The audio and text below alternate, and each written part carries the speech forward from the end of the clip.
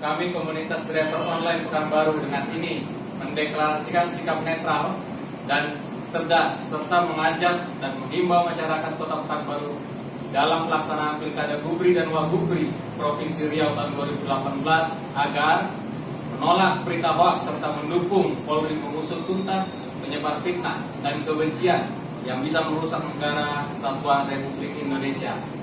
Berkampanyelah dengan santun tanpa menyinggung. Jadilah pemilih yang cerdas tanpa ada bilangan. Pilkada